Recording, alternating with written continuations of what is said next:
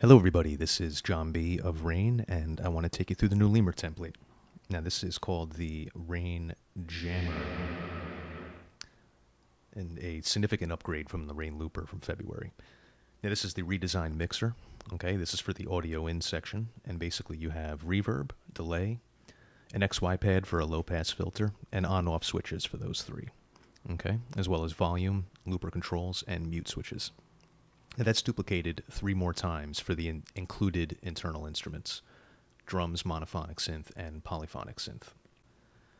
Okay, this is the audio in page, and in the upper left you have a phaser, and the physics of the ball is controlled from these sliders here, so you can create an evolving sort of sound if you like. And over here is an LFO uh, mod section for the phaser. Here's the looper controls, uh, reverb and delay. And this is Ableton's uh, sample and hold LFO uh, frequency shifter plugin that I've routed some controls to with the on off switch right here. Let's see how that works. And a main volume. Next page is the drums, and I've actually included some of my own drum sounds in these pads here. There's about three banks worth. The fourth bank is empty, but if you load your own sounds, you got up to 64 pads of triggering. That same sample and hold uh, LFO module uh, plugin from Ableton, the low pass filter, looper controls, main volume, and overdrive.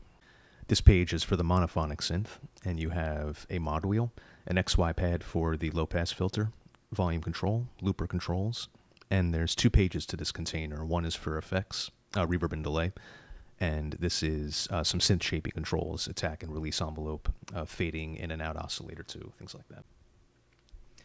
And this page is for the polyphonic synth. So same basic controls as the monophonic synth, same effects, but the synth section has a few more sliders uh, mapped out to that synth, so there's a few more controls on it.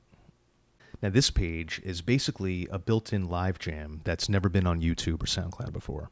Okay, there's four scenes, four loops for each instrument. Now, the one on the left is audio directly from my Fender Rhodes. This is my custom kit and Kontakt.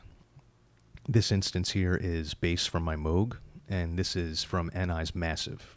Okay, so there's four loops for each instance. I'll trigger the first scene for you now.